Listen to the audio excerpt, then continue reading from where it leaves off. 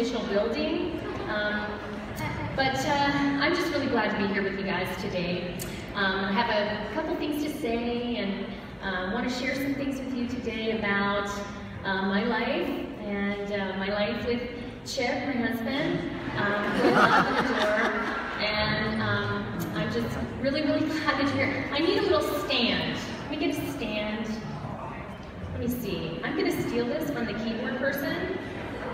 I was hoping that I would be, I was hoping that I could have one like made out of pallet wood, um, or maybe something with, um, I was just hoping for something, maybe something that was functional. Um, that great.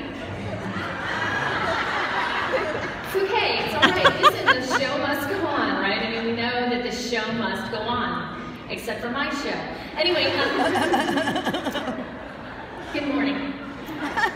You may recognize me from my hit show on um, HGTV. Uh, the name of the show is Fixer Upper. Anybody seen Fixer Upper? I know it's everyone's favorite show, um, and if it's not, then um, see me after, uh, we have some talking to do. All right, excellent. Well, as many of you know, at the height of our popularity, thank you, thank you so much. It's so nice. Thank you, Shorty. So, as many of you know, at the height of our popularity, Chip and I have decided to call it quits on the show.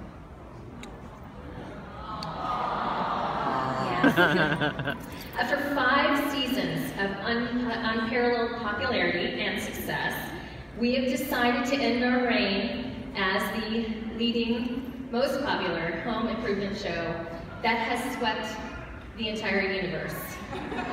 Even space people are ordering things from Home Depot. So, that I suggested. So, even space is getting more beautiful. Really okay because we had really gotten to a place um, where we had, had had enough. I mean, the episodes were only netting us about 1.5 million per episode. And so it was really hot in Texas and we started, I started to sweat. I mean, Chip always sweated, right? He was always sweaty and gross, but I started to sweat and I was just like, you know what? I just don't need this anymore. I mean, I just don't.